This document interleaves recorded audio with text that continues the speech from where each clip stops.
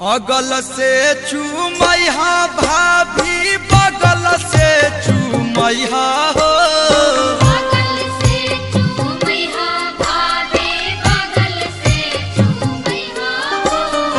बगल से चूमैया भाभी बगल से चूमैया हो।